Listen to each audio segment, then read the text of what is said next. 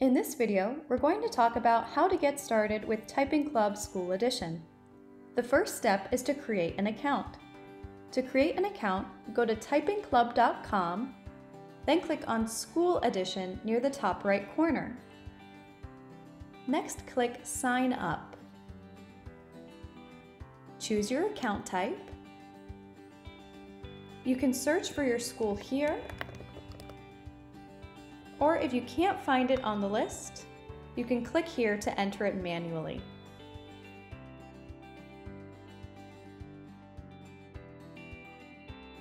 Then enter the information for yourself.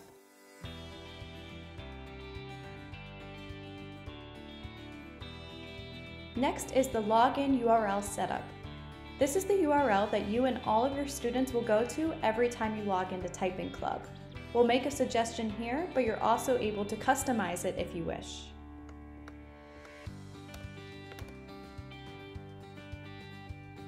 Next, you'll choose a plan. We offer our basic edition, which is 100% free, or a 60-day free trial of our Pro Edition, or if you happen to already have a license key or a purchase order, you can select the Pro Edition. Then select your number of students, and where did you hear about us, and then agree to the terms of use and the privacy policy and create the account. Once your account is created, you'll be brought to the login page where you'll enter your email and password. You can start a tutorial, but you can also exit out of it at any time. First, we'll start by going to classes. First, add your first class manually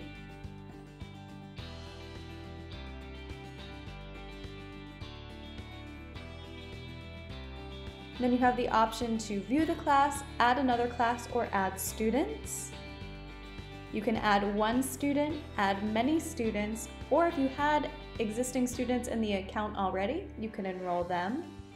I'll start by adding one student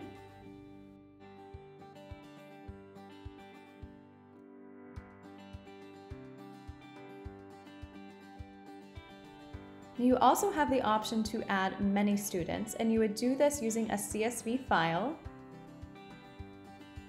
You can use the import update tool or the data import tool for larger accounts. Right now we'll take a look at the import update tool. You can download a sample CSV file with all of the information you'll need. And then when you're ready, you can upload your file and click next. You'll see a preview of all of the data the system will try to guess the header for each column, but if it's not accurate or if you would like to skip any of the columns and not upload it, you can make those appropriate changes. Then select the school that you would like the class the students to be added to and click finalize import. And now the students have been uploaded to the school and now you can enroll them in your class as well. Another option for adding classes is you can use either Google Classroom or Clever Classroom. Another option is you can click on your class and enable the class code. And this will allow your students to enroll themselves in your account and into your class. So you wouldn't need to add any of your students into the account. You would just give them the class code or this class code URL.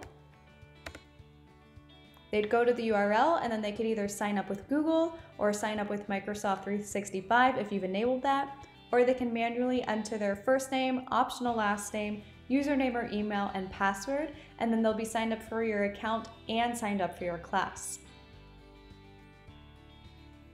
Once your students are added to the account and enrolled in a class, they are ready to get started. Typing Jungle is the default lesson plan assigned to all new classes.